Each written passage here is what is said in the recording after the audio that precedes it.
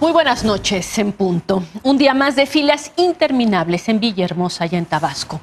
Las autoridades culpan a la gente porque no se presentan el día que les corresponde, porque no obedecen las indicaciones, pero la verdad es que no se entiende que la misma Secretaría de Bienestar, que es la encargada de entregar estos recursos, tiene un padrón único de beneficiarios en ese estado de 638 mil personas, entre adultos mayores, jóvenes construyendo el futuro, personas a las que está acostumbrado a pasarles dinero y pues no parecen haber encontrado una forma más ordenada, eficaz y digna de dar estos apoyos. Tenemos testimonios de personas que han pasado 10 horas esperando, grupos que incluso, eh, personas que van en grupo porque el apoyo se entrega en efectivo y tienen miedo de que los roben. La información de Carlos Guerrero y Televisa Tabasco. De nueva cuenta, las filas en el Parque Tabasco para recibir los 10 mil pesos en efectivo fueron interminables. Algunos reconocieron los riesgos de permanecer formados más de 10 horas esperando turno. Hay gente enferma y pues están arriesgando su vida. Pues yo vengo con miedito porque la verdad que este es un contagio que no es muy peligroso. Otros temen ser asaltados. Sí tenemos miedo, por eso venimos en grupos, no venimos solos. Y pues venimos pues aunque sea con unos palos ahí para pues podernos defender.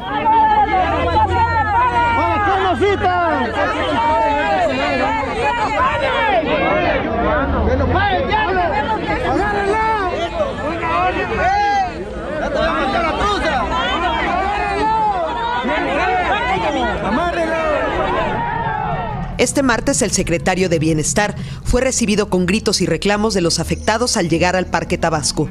Todos los que fueron censados van a recibir su apoyo. Sí. Miren, hemos pagado hasta el día de ayer. Sí. O sea, no tenemos ningún problema en el municipio. En, ningún municipio, excepto el centro, que este, la gente viene cuando no les toca. Nos cuesta trabajo entender que hay un orden alfabético, hay un orden por comunidad y la gente llega sin tener necesidad de ello eh, a dormir prácticamente. Pero es que eso era previsible, es que le vamos a echar la pues culpa a la gente. No, no, yo no le echo la culpa a la gente. Se tomó la decisión porque si se hacía con el reparto de tarjeta o de tarjeta vale o de vales, pues tendría que seguirse un proceso de licitación. Vamos a poner la fila A, B, C y D. En otros municipios como Teapa, la situación es diferente. Los jóvenes que están en la fila le van a dar acceso primero a los adultos mayores y discapacidad. ¿Se entendió? Sí. Gracias. Si usted está atrás de una persona, tome la distancia de un brazo, por favor. Este... Miguelina es la abuela del niño Sergio Alexis, de tres años de edad, quien fue rescatado por elementos del ejército de morir ahogado el pasado 10 de noviembre. El bebé estaba con nosotros de repente cuando vine a ver, un descuido de un segundo, cuando mi hijo lo sacó, el niño estaba muy morado, sus ojos blancos ya. Dios mío, la familia completa. En el casino del pueblo de Teapa, el trámite para recibir el apoyo económico solo demoró unos minutos. Yo pensé que iba a ser retardado, pero no, todo fue rápido.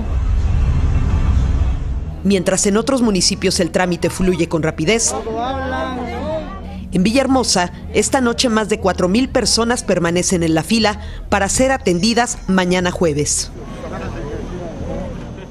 Solo agregar, esto no es digno, no es digno la forma en que se está entregando el dinero ni las colas que están haciendo en el municipio del centro y en los otros municipios de Tabasco y las autoridades tienen los datos para hacerlo de otra manera.